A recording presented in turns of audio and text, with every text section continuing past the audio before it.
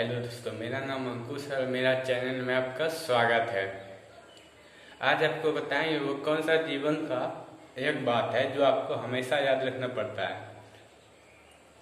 चलिए वीडियो को शुरू करते हैं। एक बात को हमेशा याद रखना, तुम जो इंसान तुम्हें दिल से चाहता है ना, उसे कभी दिमाग से मत निकाल देना। अगर निकालोगे ना तो जब वक्त पे उस इंसान का काम आएगा, वह इंसान तुमको मदद नहीं करेगा। क्योंकि तुम इसको इसको नहीं जानते और दिमाग से निकाल दिए हो।